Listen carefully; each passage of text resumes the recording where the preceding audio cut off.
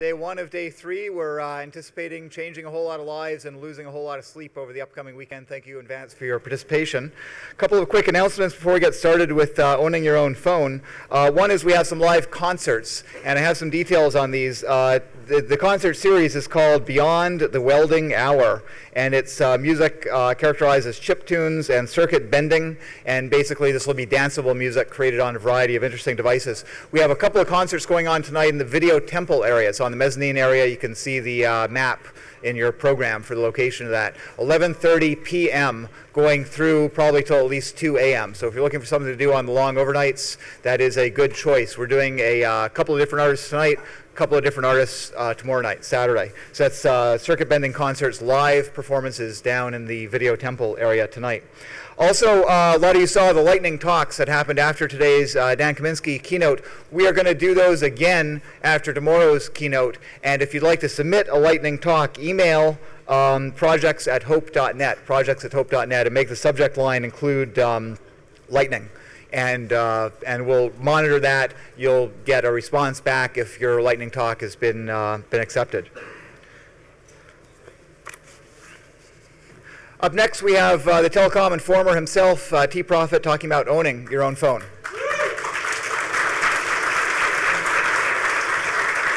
Well, uh, thank you. It's uh, good to be back in New York City uh, for the next Hope. I thought the last one was the last one, but uh, turns out it was just the one before the next one. Um, so, if you're left over from the last talk, uh, this talk unfortunately uh, doesn't have anything about uh, sex or dongs or phone sex dongs or anything like that. Uh, it's kind of going to be a dry-ish, sort of dry history lecture on phone stuff, but if you like phones, then you're in the right place. So uh, who am I? I'm TProphet. Uh, I'm a phreak. Uh, that's the kind of person that likes to play with phones. Uh, I write a column for a 2600 magazine called the Telecom Informer. Uh, so if you do read the magazine, uh, it's not online, but it's printed on dead trees and stuff. You can buy it in the back. Um, every issue, I, I have this column I do in kind of a cranky persona of a nearly retired telephone employee. Obviously, uh, I'm not quite there yet myself, but uh, you know, I try to try to be faithful to that. Um, I believe technology gives people the power to change the world. I very strongly believe this, and that's a part of why we're all here. And I believe that people accomplish the most really when they build communities. And so this talk is as much about phones as about communities and the direction that I think that we as a hacker culture need to go. Uh, so there's been a really incredible revolution that's happened in my lifetime and in many of your lifetimes. Uh, it's been disrupt disruptive, it's been destabilizing, but for one, I wouldn't have it any other way. Um, and what's happened is that we, as a result of having very cheap, very available communication technology available to us, uh, by having resources like the internet available, we've been able to communicate in ways that we weren't able to before. And it's led in a very real way to actual political revolution. Uh, among them, the Orange Revolution in the Ukraine, uh, the Rose Revolution in Georgia, which uh, supplanted a very brutal dictatorship with an actual sort of mostly functional democracy and not in the Bush administration sense. Um, there's uh, been you know, you'll hear more tomorrow about Wiki, WikiLeaks and some of the things that uh, that resource has made possible. And of course, uh, incredibly disruptive, at least in terms of how we deal with content and you know being in the publishing industry ourselves at 2600 uh, we've had to come to grips with things like BitTorrent and the internet uh, as part of this communication digital revolution uh, so um, it hasn't always been this way and if uh, government uh, telecoms and Sarah Palin have their way it might not always be this way uh, so what we're going to get to is a little bit of, you know, a rewind. And I'll be talking uh, about what things were like kind of when I was a kid. There's a big period in the middle that we're going to skip over because it's uh, kind of a lost decade, I think. And then we'll get to now and a call to action as to where I think we need to go. Um, so 25 years ago, roughly, you could communicate with virtual anonymity in a way that is not possible now. And here's what I mean by that. Um, when you made phone calls, there weren't things like class features. Uh, and a class feature is things like caller ID and call waiting and voicemail. Uh, there was no communications assistance for law enforcement act. So if the government wanted to tap your phone or monitor your movements, it was actually, from a technology perspective, a very difficult thing to accomplish. Uh, they had to do real work, send somebody somewhere uh, to clip into the frame and you know have a have a reel-to-reel recorder going. Um, some areas even still used analog switches, including Seattle, where I grew up. When I was a little kid, I, I would call the Seattle Public Library storyline, and, uh, you know, I would hear the unusual clicking and ringing and wonder what that was. And, you know, it was later uh, when I got toward the end of elementary school into middle school that I really learned what, uh, what those switches were and started to hear them go away.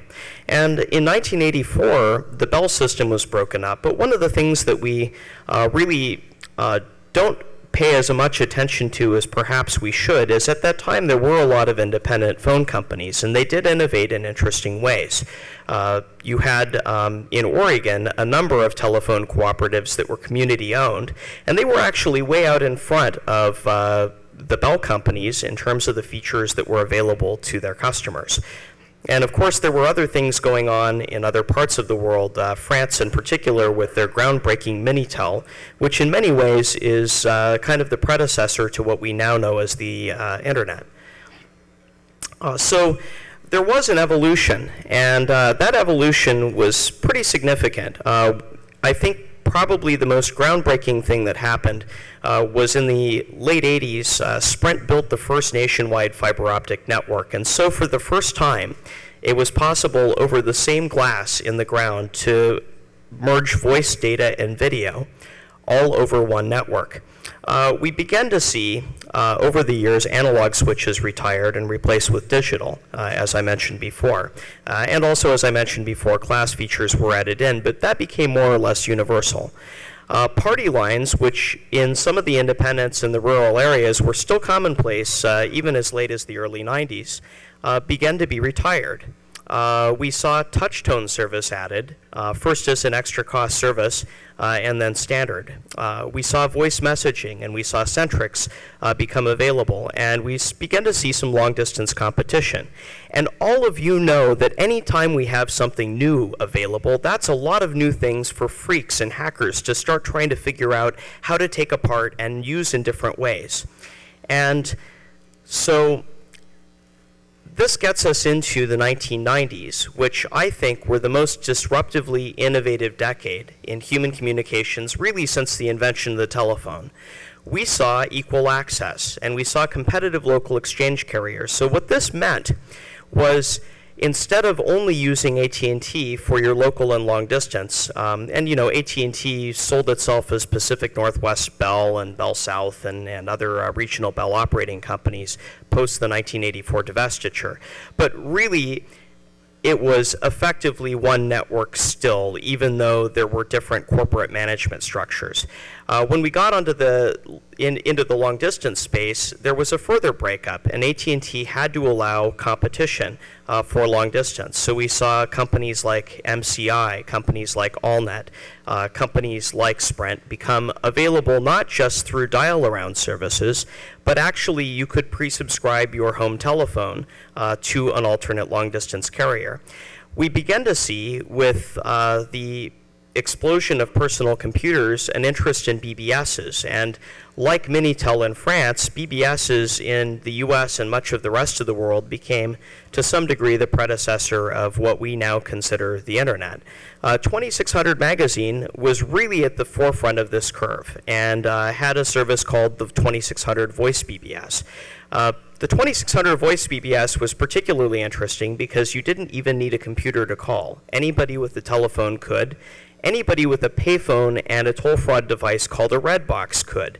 And so what you really ended up with was this amazing equalizing factor on the 2600 voice BBS. There's a, a guy who would call in um, who was developmentally disabled, didn't own a computer, was from a poor family in uh, upstate New York uh, named Mega Elite. One of the best phreaks that I've ever talked to or dealt with. Uh, he was fantastic with social engineering. He knew a tremendous amount about how the phone system worked in the background, who to call uh, to accomplish things. And this is somebody who most people would look at as uh, retarded, uh, let's be frank. Um, a service like the 2600 voice BBS really allowed even somebody who nobody would take seriously the ability to communicate with other like-minded people. Uh, we had confs, and I gave a talk a couple of years ago um, called Phreaks, Confs, and Jail. Uh, I think it was here. Um, so it's online. Feel free to refer to that if you want to, a more in-depth look at the conf scene. But this, I really think, was a very important part of phreaking culture, and it even remains today to be a fairly important part of phreaking culture. And this gets to the community piece, which I'll get into later. Uh, it was possible to perform newly elaborate prank calls. It turns out that if you have all of these services that you can break into, like voicemail boxes, for example, um, and people trust those services, which they perhaps shouldn't, it became very easy to convince people to do things that they shouldn't necessarily do. And the more things change, the more they stay the same. And so we'll get to that later. And in the 1990s, one of the other disruptively innovative uh, things that happened uh, was on the government and regulatory side. And this actually was the predecessor to what we see uh, a lot of governments around the world, um, no matter whether democracies or not, uh, uh, trying to do in terms of controlling content. CALEA was the foundation of the infrastructure to control communications, and it handed the government that control. The Communications for Assistance for Law Enforcement Act, and if you go to askcalea.com, uh, uh, that's run by the FBI. It's a site for carriers to uh, understand how to implement um, this law. There is literally a backdoor built into every telecommunications network that offers public telecommunications services in the United States. This backdoor is built in fundamentally in the background. The government doesn't actually have to do any work to tap your phone anymore. They can do it all remotely uh, through a remote monitoring uh, in dial. They just dial up a voicemail box, enter a PIN, and they can enter the number they want to monitor and listen to what you are saying. And it goes even a step, step further than that now because with wireless communication networks, all you have to do to track the location of somebody, if you're law enforcement, the physical location of anybody, even sitting in this room, is log on to a web page. And the true extent of this came out recently when uh, it was discovered that Sprint had responded to literally over 100,000 requests for location data uh, and provided this uh, on their website to law enforcement. This is infrastructure that's been implemented now. It is monitoring everybody potentially now. And the accountability is very limited because in the Bush administration, this dramatically got expanded. So there's been an evolution. Uh, and there was also an evolution in the ways that hackers uh, began to look at telecommunications networks and use them. So we had things like BBSs, but if you wanted to call a BBS outside of your local calling area, and it was all through dial-up at the time, you would need to make a long-distance call. Obviously, this could be quite expensive. Uh, I don't know uh, how many of you were around then, but just a quick show of hands, who's ever gotten a long distance bill more than $100? Okay, so older audience, obviously, um, you know, for those of you uh, who are younger, probably you'd be shocked that there wasn't such a thing as unlimited free long distance from your landline that just came standard. Um, it used to be you paid by the minute, and you could pay an awful lot by the minute. Um, so we as phreaks would look at ways to get around uh, how it how uh, how we would have to pay so much uh, for these calls, and you know, calling cops, similar story. So blue boxes get a lot of press, and blue boxes toward the end of the 80s and the beginning of the 90s weren't in as broad use as they were in the 70s um, and early 80s, but you could still use them on C5 networks. And what that was is if you could get, if you could hit a route that would go over a satellite and it didn't cost you anything, you know, this is a thumbnail sketch, it's really more complicated than this, but if you could make a free call that hit a satellite in some way and that satellite used C5 signaling, it was relatively easy then to seize a trunk and go out from the other end. And so it was fairly popular to do this from uh, you know, certain countries in Asia and in Israel until they upgraded to a fiber optic link. Um, but that wasn't very practical for calling BBSs because you'd get so much line noise, uh, you know, transiting through an international location. Uh, you know, there was no error correction at the time that really it was only useful for voice, and even then, only if a delay was acceptable. Uh, so around the time that I started getting active, the preferred way to commit toll fraud was codes. And the, codes was written, you know, in code, uh, K0D3Z or something along those lines. And what a code was, was either a, an open DISA port on a PBX that maybe you found by scanning, or it was a stolen credit card, or a stolen calling card, or sometimes uh, long distance companies would use they'd give you a discount if you didn't use equal access. If you dialed a local number and entered a code and then dialed the number that you wanted to call, um, you could get a cheaper rate if you did it that way. So if that were to leak, um, well, you know, maybe it could be useful to phreaks. And then there was this entire Wares scene. There's a Wares scene today. Uh, being pirated software if you're not in that scene. And remember back at the time we didn't have the internet so to move these things across the country somebody had to call long distance for you know to the next city over BBS to BBS and these guys were called Wares couriers and Wares couriers were always looking for codes because they didn't want to pay the long distance bill to upload all the wares. Uh, so if you were a phreak, you could have all the wares you wanted really just by supplying Wares couriers with code, and this is something that was common. So in addition to just outright stealing other people's information, you know, some phreaks were more ethical than others, and um, I would put myself in this category at the time, and you know, hopefully the statute of limitations is up, uh, having been, you know, 20 some odd years ago at this point. But um, I thought I thought at the time that if somebody got a bill as a result of something I did, then I wasn't being a very good phreak. I wasn't being very good from the perspective of number one, somebody getting a horrible bill that I ran up was probably going to be pretty mad, and the phone company involved would probably be pretty mad as well. And also, you know, these things didn't tend to last very long. So uh, what many phreaks would try to do is we'd obtain service in a way that it would only generate phone uh, billing internally to a phone company. Uh, or it would be just an outright subscription fraud, uh, so there would never be a real bill that went to a real person.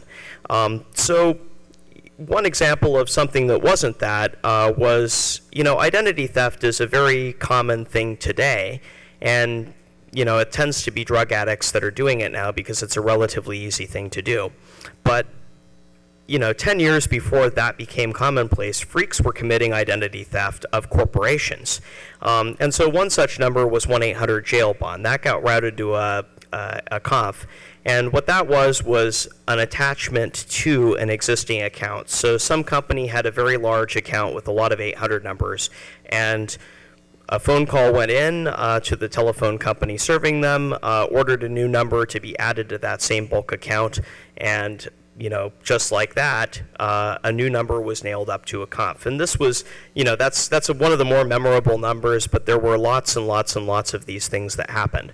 Um, another example of a subscription fraud, how many of you would take an order from a company called Scam Modeling? No, nobody? Um, well, with a name like that, how could you go wrong? Uh, uh, unfortunately for Sprint, uh, they did accept an order from a company called Scam Modeling. Um, yeah, there's a certain phreak that wasn't me that set this up. I'd never do anything that obvious. But um, anyhow, uh, the, the, the, the, story apparently went uh, that scam modeling had a whole bunch of Russian models that frequently needed to call home to Russia.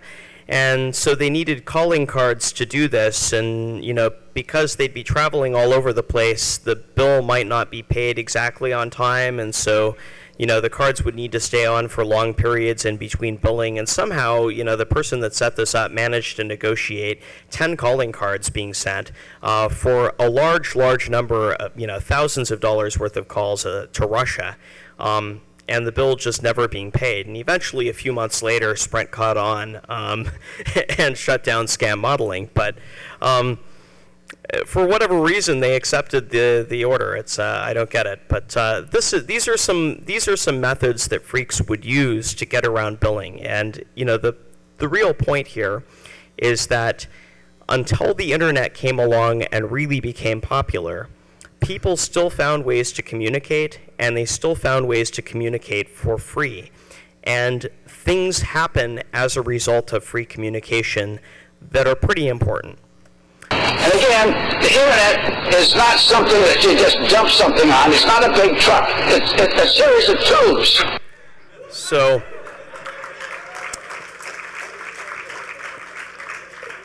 along came uh, the internet, and there was sometimes a bit of muddled understanding from certain Alaskan politicians like Ted Stevens, um, uh, understanding what the potential was. Uh, it's not like a truck, but um, okay. So this is the one thing that sort of parallels the previous talk. Uh, porn companies really had no understand no trouble at all understanding the potential of the internet, and so when you look at any technology that gets driven. Um, and it happens to be around media, if the porn industry isn't behind it, typically it doesn't happen. So we began to see a lot of streaming video, and really, uh, what got us from dial-up, I think, to broadband is streaming porn. Uh, suddenly, uh, free instant worldwide communication became possible, and uh, a guy named Bernie Ebbers uh, envisioned integrated voice data and video. And Bernie is a really interesting story. He uh, started a company called WorldCom. He had this vision of voice data video actually being uh, an integrated service that he'd offer, and he literally went and made a whole bunch of acquisitions uh, in order to put a company together that would do this. There was only one problem, and that was in order to make the acquisitions, he committed massive accounting fraud, um, and you know that resulted in uh, in Mr. Ebbers landing in a federal penitentiary where he still is. But the vision was good and real, and it actually is, you know, uh, where we sort of more or less are today, where if you look at something like the Comcast Triple Play, for example, you can get an integrated voice, data, and video package all from one provider. Uh, Bernie Ebbers saw that 10 years before you could buy it. And it's really because of groundbreaking pioneering work by people like him uh, that we are able to enjoy some of the services that we are today. Um, I think of 2000 to 2010 largely as a lost decade. And so that's why I haven't focused a great deal in this talk on uh, anything except, you know, 1990 to 2000 and then where we are today. Um, the tech crash caused a a serious pullback in innovation. Around 1999, things got very frothy. Um, we saw a very large amount of investment in companies that should never have been started, uh, selling products that uh, shouldn't have existed. Um, and you know, we all saw the logical conclusion of the pullback was more severe than it should have been. And so the amount of innovation that I think that we've seen really in the last 10 years hasn't been too substantial. It's mostly been evolutionary, uh, except for surveillance. And we've built this crazy, massive surveillance infrastructure without really even thinking through uh, what the social implications or the long-term implications are of this radical societal shift that's happened. Um, but there were some things that happened. We do now have a GSM deployment in North America uh, and it more or less uh, covers the majority of the population. We didn't have this before. Uh, we saw AMPS retired. uh, toward the end of uh, the last decade. Uh, AMPS was the, the old an crackly analog cellular network. We no longer have that. We saw growth in VoIP services, but the interesting thing with VoIP, if you'd asked me three years ago what the most exciting, groundbreaking, trend-setting thing would be in telecommunications, uh, you know, in the in that decade, I would say VoIP. And the reason why was there was a lot of really exciting things happening around VoIP. Uh, it was possible for us as geeks and tinkerers to get access to some very, very, very cheap uh, VoIP services. And even today, there's things like Magic Jack where you can call anywhere in the country for basically for free with certain limitations. And I did write a column on Magic Jack a few issues back, um, and I believe the back issue is for sale. So if you're interested uh, in you know some magicJack tricks and a little more information on that product, uh, feel free to pick up the issue. But if you'd asked me a few years ago, I would have thought that that's the direction we all would have been going. And I, I would have thought that probably that would be um, the most exciting thing. Today, I don't think so. Because really what's happened with VoIP is what we used to do on circuit switch networks on the back end is now being done with VoIP on the back end, but it's all been transparent to you and me as consumers and the billing hasn't changed. It's gotten cheaper for carriers to provide the service, but they're still billing you the same or more. Uh, it's kind of funny how that works. Um, so there's been growth in VoIP. It's exciting. It allows us to make better use of the existing infrastructure we have now. But we haven't really grown that infrastructure in the last 10 years uh, at a real level beyond incremental. Uh, there's been broadband adoption at a pretty wide scale. Uh, we're now seeing uh, most, the majority of people who have internet access in the U.S. now have broadband, but it's fairly small in terms of majority. Uh, it's something like 64% the last set of numbers I saw. Uh, this tremendously lags behind other developed companies like, uh, pardon me, other developed countries like South Korea, where broadband adoption runs in the 90s. And we've seen a lot of, you know, anybody who has an iPhone knows that there's been a lot of new and creative ways to bill for the exact same service you've been enjoying. Um, and those creative ways always seem to be more expensive. But we haven't seen a tremendous amount, really, of at the at the network level, fundamentally, of innovation in really since 2001 to today. So um, where we are, though, is this interesting place where it's possible now to communicate virtually anywhere in the world for little or nothing. And that is a Pandora's box. Governments want to control online speech and content. And, you know, if you believe there's a First Amendment that's still meaningful, um, I have a bridge over, to, over there to sell you. Uh, the United States government is just as guilty of governments that are more overt in these efforts. Uh, it's just behind the scenes. Uh, for example, uh, there is a strong desire in the cybersecurity community within the United States federal government for what they call a kill switch, where somebody in Washington, D.C. decides to flip a switch and we don't have internet access anymore in the United States. And We've already built this in to the telephone system with CALEA. It's possible to kill telephone communications. It's not, not yet possible because there isn't yet code in, uh, in the routers that are the core routers of our internet infrastructure to do this. But one regulatory change, and we have an internet kill switch. And the United States has that, and anytime they say that they need to stop terrorism or political dissent that could be terrorism, uh, somebody in Washington could anonymously decide to flip the kill switch. Uh, even in the US, uh, if you want to look at a more real and current example and get away some people might call conspiracy theories, YouTube is frequently censored. We have internet censorship today in the US with DMCA takedown notices. Uh, carriers want to slow innovation that they can't control by defeating net neutrality initiatives. And this is a very important debate that's happening right now. Um, should carriers be able uh, to prioritize some traffic over others or charge you more for certain types of traffic than other types of traffic, uh, thereby discouraging innovation in a particular direction. Um, many people, like me, believe that carriers should treat all traffic equally. Uh, a common carrier should be just that. Uh, other uh, people, largely with companies like Comcast and AT&T, uh, believe that they should be able to control content that traverses their networks and thereby uh, slow innovation that they can't figure out a way to bill you extra for um, or control. And innovation chokehold, I think, is an American competitiveness issue. Now, I don't normally stand up on stage and wave the patriotic flag and, uh, and wear a red, white, and blue bikini. Um, but we do, most of us live in the free world and the United States.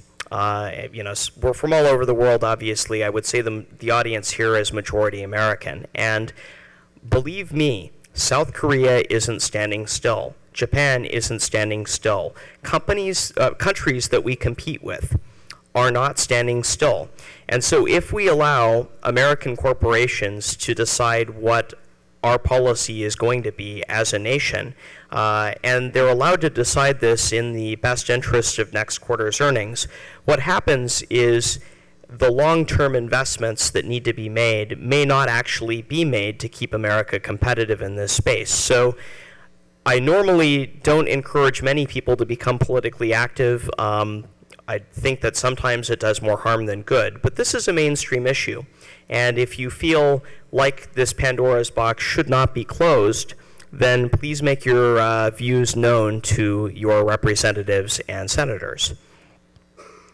There are two exceptions to the lost decade. Uh, you know, there, there were things that happened um, that I think were actually disruptive and I think actually uh, do open a lot of interesting possibilities. Uh, the first is social networking.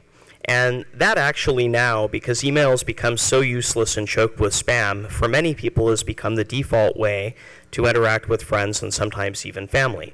And smartphones uh, really began to take off. And so um, let's have a little fun. Uh, quick show of hands, who in this room has a smartphone? And by that I define a BlackBerry, an Android device, or an iPhone. Okay, so I think there were maybe four people that don't. Um, so leave your hands up. Leave your hands okay? Because I want to see where where this goes. Uh, and if we've got anybody here with a camera, like I'd like to watch, you know, I'd like to see a video of this later because it's hard for me to see from the stage. Um, leave your hand up if you know exactly how that phone works. Okay, I'm taking mine down because I don't. Um, do you completely trust AT&T and Apple if you have an iPhone? No?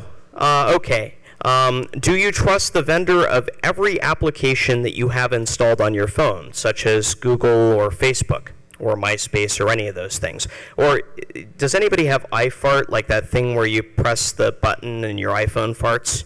Like, do you trust that guy? Uh, I don't know. Okay, so so we've got so we still got a couple hands up. Uh, do you trust that caller ID is reliable? No? Uh, does anybody do any SMS banking? Do you trust SMS? Um, okay. Is, if anybody's hand is still up, would you trust me with your phone? Okay, so if you trust me with your phone, uh, bring it up here. I'll have it back to you in a couple of days. Um, but I think that that's, uh, you know, if it's gone the direction that, you know, at least from the front that I can see, that's a pretty powerful exercise, right? We have these computers in our pockets, and we don't know how they work. And we don't trust who wrote the software that runs on them, and we don't trust the network that they're using. And we don't necessarily even trust the calls that are coming in um, that they're really from who we think they are, and we don't necessarily need, you know, trust uh, that the SMSs that we're getting are real. And so, you know, there's some really interesting things here. Um, and, you know, I'd kind of like to, to run through uh, a couple of scenarios. Um, so SMS is a really interesting uh, is a really interesting piece. Um, so who here uses text messages frequently? And that would probably be the majority of you. I know for myself, I text more than I talk now. And do you know where your SMS messages actually go when you send them? Are there copies of them anywhere? Um, is there a privacy policy associated? And you know, I'm asking these rhetorically. We can get into you know into this a little more in Q and A. But um, my friend broker, who's here in the audience, and myself, uh, you know, we actually went through an, an exercise uh, a few months ago where we tried to figure out just based on what SMS volumes are that are public how much storage it would take because kind of one of the things that I do professionally is I deal with large scale storage. How much storage it would take to just archive every SMS message that's sent, you know, to, from, or through the United States um, in, on any given day. Um, and you know, it's a trivial amount of storage, particularly if you're using a technology like deduplication. Now, I don't have any reason to believe that things are being archived when they shouldn't be or that anybody in particular is doing it. Um, but do you know that that's not the case? And have you ever sent anything in SMS that maybe you wouldn't want, uh, you know, posted to uh, a Twitter feed somewhere? Um, and so, you know, this is a, this is an interesting question, and I, I really just, you know, the, I'm bringing this up not to make you especially paranoid, although I probably should make you paranoid by pointing out that um, some of the surveillance infrastructure that's been implemented uh, does allow the government to track your GPS coordinates at any given time, even if your phone's off. And some phones uh, are able to turn themselves on and listen to what's going on around them uh, when the, the appropriate command is sent to them. Um, and you know, all of this, the government or somebody uh, using these commands who shouldn't uh, um, would have to would have to do. But uh, you know, the technology is built in to uh, to your device. And there aren't people really looking at these things and seeing whether they're secure and seeing whether they're really uh, being used the way that they should. And there doesn't seem to be a lot of accountability for things like national security letters, uh, which can activate all this technology. So, in the name of stopping terrorism, world governments have created a massive surveillance infrastructure, the likes of which have never really existed in human history. But in the name of being more popular, you have probably given even more personal information to Facebook and Google. And your privacy really is for sale when you use social networks. You are not a customer of Facebook, Google, or Twitter. You are the product that they sell to their customers. And if you feel like deleting your account after all this, well, don't bother because they still own your data. Have any of you actually read the privacy policy for Facebook if you're a Facebook user? Okay, which one is the is what I would ask because it changes every other week roughly. And this is part of the danger with uh, trusting privacy policies to actually secure our privacy. When the interests of services you use are opposed to your own interests, and when the operator of the service can change the privacy policy anytime they like. Effectively, all your base are belong to them. So your freedom really is at risk. And this actually has gotten fairly serious. You know, what if this guy on the screen were one of your Facebook friends and decided that you were probably a terrorist? Um, that could end very badly for you. It ended very badly for somebody uh, recently. Um, now, I don't know whether the guy that's alleged to be a terrorist is or isn't. I don't have that information. Um, all I can look at is, well, there were some social networks involved. There were some lax privacy policies in place. There were some trust relationships that maybe shouldn't have been there that were there. And what that resulted in is somebody sitting in jail right now. And you know whether or not he belongs there, um, I'm not really uh, qualified to comment. But what I can comment on is that if all of these tools weren't there, and if they weren't being blindly trusted uh, in ways that shouldn't be, then maybe that sequence of events would have uh, not happened the same way that it did. Uh, so here's a call to action. And uh, really, why we're all here is this is a social event. We're coming together as hackers to bounce ideas off each other.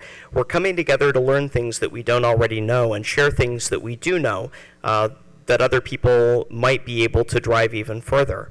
We're more connected than we've ever been before, and we're less connected than we've ever been before. Online communities are useful but they're really no substitute for direct human interaction. So much more happens when we come together in communities like 2600 meetings, uh, like Metrix Create:Space in Seattle, uh, or like uh, conferences such as HOPE or DEF CON. Um, with the rapid advances in smartphones and social media, we're inventing new technologies at a faster pace than any time since the 1990s. And this has really gotten out of hand. I mean, we have a different, you know, iPhone application every hour practically. Uh, Android applications are ramping up. We're going to be having a new smartphone platform launch that I expect will get popular.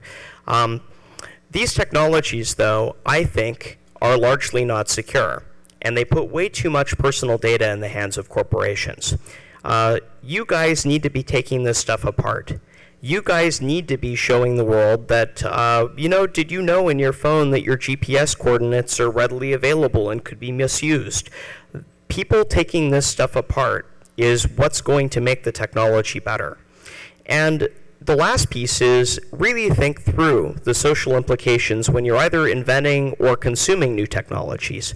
Um, there could be additional dimensions that in the focus to get a product out the door you don't necessarily consider.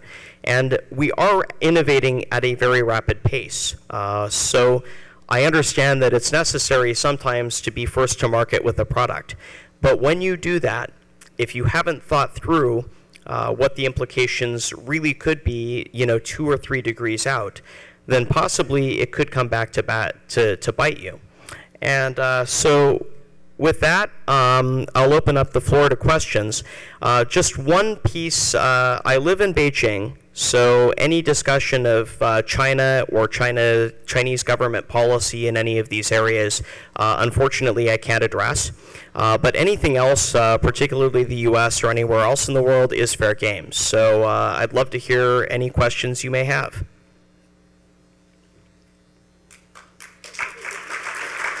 And thank you for being such an awesome audience.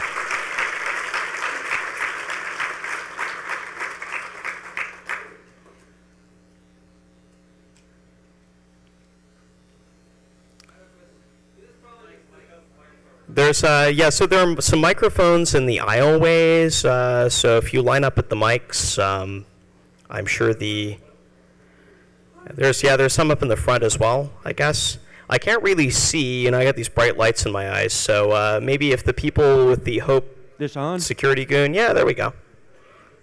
Whoever asked, is this on? It's on. I got an infrastructure question.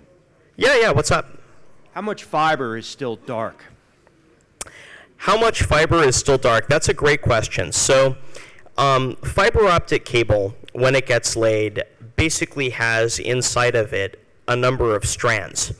And so, in order, laying fiber isn't a very interesting thing to do. I mean, you dig a trench and you drop the cable in it, and it's you know a few dollars a foot. Um, what's the hard part is getting that fiber what we call lit in the telecommunications industry, and that's where you have a whole bunch of equipment that's very expensive um, that pulls data along that fiber, and it uses uh, a technology. The most popular one currently is called DWDM. So typically what will happen is a carrier that's laying a fiber optic network, they won't necessarily, you know, this technology can be changed out relatively easily with line cards. Um, so as we come up with new and better ways to transfer data faster, uh, you just pull out, uh, you know, every couple of uh, miles uh, one card and drop another in. And, you know, this can be done in, in a redundant way. But there's so much fiber in the ground that isn't lit because typically what you're only doing is lighting one strand in a cable and you may be leasing other strands to other companies. So there's a tremendous amount of dark fiber. Uh, dark fiber, though, isn't a very useful thing. Uh, you can't do much with it. You can run some, you know, we've got technology where you can run some metropolitan area networks at relatively low speed without lighting it up. But until we come up with a way to use dark fiber across uh, long distances without this very expensive equipment, uh, it doesn't do a whole lot of good. You didn't answer my question. Yeah, your question. So the question is, so for every mile of fiber that we have, and for you know, it's it's like basically you've got to have you you need to know for each um, each trunk how many carriers are using that fiber strand. So some companies don't actually lease any fiber uh, to other companies. Some do. Uh, it's all proprietary information internally. So all I can do is conjecture but I can say on an average cable, I'd be surprised if more than 10% of it is lit. the end of the 90s, it was uh, something like 97% was dark, and all that is potential infrastructure. That's bandwidth waiting to be used that isn't being used. Well, it's potential infrastructure, but keep in mind, so you've, if you light up fiber, you can change out that technology with, technolo- with newer technology that is able to move data at faster rates along the same fiber strand. And so part of the incremental innovation that's happened between 2000 and now is we've gotten to faster speeds on the existing fiber that we already have. So I don't see that incremental approach changing. We're not going to see ginormous deployments of lighting up dark fiber. I mean, it costs billions of dollars to do that. So what I'm guessing will, and we already have more bandwidth on the backbones than we really can use. I mean, the problem, the bandwidth problem that we're having currently is how do you get it that last mile? And that's been the problem for the last 15 years. I can say that I run a 2.4, well, at, at work, um, now I can't get into too much detail of what I do at work, but I, I, I can say that we have uh, some backbone networks at work that are grossly underutilized, and it's largely, um, it's not that we can't throw data at other carriers, it's that they can't accept it quickly enough. This question is mostly semantic, but I think it's kind of important when discussing these issues. You referred to um, companies sending DMCA takedown notices to YouTube as censorship. Does one company telling another company, threatening them with legal action, constitute censorship, or would you say it's something? I've, some would argue it's something that comes specifically from the government. That I believe that it's censorship. Um, so you have content, and that content is taken down, and it's taken down through a legal mechanism. So that to me is censorship. Uh, you can reasonable people can disagree on this, right? Um, I have this is my personal belief. I was wondering what your thoughts were on Moxie Marlinspike's work with uh, Android applications for secure text messaging and phone calls. I think it's uh, RedPhone and um, TextSecure. I, I, forget the name of the other one. I haven't seen it, but I'd love to. Uh, send okay. it to me. Sure. I have a question on um, sort of what, what are your thoughts on the, I can't remember the name, colloquially it's called the Truth in Caller ID bill. Oh, the Truth in Caller ID what, bill. Yeah, what do you think about that? What, do you, what are your thoughts? So what would be the benefits or disadvantages of requiring that caller ID is legitimized somehow from its source? So let's talk about this a little bit because that's a really interesting topic. Um, you know, living in China right now, when I call somebody from my Chinese cell phone, usually the number comes up unavailable. And apparently, the majority of people that I call, um, and this may or may not be, uh, you know, representative of people overall. It's just you know my group of friends believe that when the phone says unavailable and there isn't a number that pops up, it's a monster calling, and they don't answer.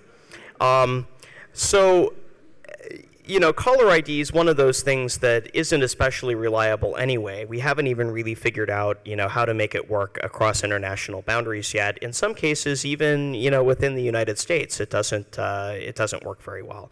Um, so, a truth in caller ID bill, um, that's that's it's going to be difficult to enforce because what has to be proven uh, in the legislation as it's written now is that you intentionally obfuscated your caller ID somehow, uh, and that you did it with malicious uh, intent. Um, so one of the other interesting problems with caller ID is that if you pass a law in the United States, well, the phone system is global. And so what I would expect to happen is that the malicious people that are doing malicious caller ID things would just move outside of the boundaries of the United States. And then what do you do to enforce the law against somebody who isn't particularly known? Because with the world of VoIP, it gets very interesting. I mean, it becomes very difficult to see where calls are actually coming from and who's sending them. Um, we've opened, we've let the genie out of the bottle on SS7, and you know, when some sleazy VoIP provider in Romania has the same access to the SS7 networks as Verizon, then you really aren't safe anywhere. Uh, so don't trust caller ID is the bottom line. And if there's a law that gets passed, you totally know laws are always effective when they get passed, right? Super presentation. Uh, you talked about uh, government monitoring phone calls, but there's uh, cell phone spyware is a very scary thing, and it can be downloaded. And if I put it on your phone, I can track your movements. I can watch, um, uh, listen to your phone calls. I can turn on the uh, microphone to listen to your room tele uh, telephone calls. It's not getting the media attention that I think it probably deserves. Why you know, it sure would. If Sarah Palin downloaded cell phone spyware, or better yet, if Bristol Palin did, and uh, you know, I think Fox News would be all over that. So, and that's really part of the call to action, right? We have these devices that have ridiculous security flaws, and anybody who really knows anything in this area is well aware of this. Um, there are APIs that uh, leave large swaths of things that should never be open open, and really what we're not seeing is these platforms. Well, you know, there's an attack surface that's as big as Goatse, and nobody's really doing much with it. Please, somebody attack Sarah Palin or Bristol Palin. Uh, let's let's not call for attacks on specific people. Um, I don't want to be hauled off of here in handcuffs, but uh, uh, what I what I would say is that um, really, as as hackers, as phreaks, as security people, we need to be looking at this stuff, and we need to be talking about this stuff with people that don't know as much as we do. Hi. Um, in my phone, I have a setting that says um, like don't send identification, and when I call somebody, it'll show up as a no number. Is that actually something in my phone that's preventing my phone number from being sent out, or is that done by the provider? So what you have is a GSM phone, presumably. Yes. And what you're doing is you're setting a flag. It's it's a G- GSM feature where you can instruct the GSM network not to send your caller ID. That can be honored or not. Uh, and it isn't controlled by your phone. It's your phone's just the interface through which you can select that. Uh, if you have a um, if you have a CDMA phone, if you dial star six seven, you can selectively block your caller ID, or you can have your carrier block it for every call. Okay. Thank you. Hello there. Uh, going back to uh, infrastructure and community for a second, um, I'm curious your thoughts on what we can do as people and liberate ourselves from these corporations and actually build our own phone networks, either wireless or otherwise. So the scope of my talk um, really is a call to action, but it isn't a call to any specific action, and I have to leave things open-ended. Um, I don't know how all this is going to shake out. I don't know three years from now how this is going to look, and really that's up to all of you. And it's up to you, if you're passionate about this issue, to look at a way where you can leverage where you're awesome and what you know and how you can inspire other people. And so, really, all I can do is encourage you to take that part of you that understands that part of this issue that other people don't and shed light on it. Uh, make it public, talk to other people. You're here at Hope, that's what this is for. I have time for one more question, and then we have to go. When do you think routers will be a thing of the past and the internet will be wide open CDMA or something like that with uh, just digital signal processors everywhere? As long as we need to push packets and as long as we're still using TCP IP, we will need routers. Uh, so I don't think that's going away anytime soon. Um, you know, what the transport is before we get to there. And I think I don't think we're going to see wireless as, uh, as what we're using for our trunks. I mean, that's going to be glass in the ground, and it's it's going to stay that way at least for the foreseeable future. I think. Um, you know, that's that's an interesting question, but until we get away from uh, the using TCP/IP, I don't see that happening. Okay, well, uh, you've been a fantastic audience. Thank you so much.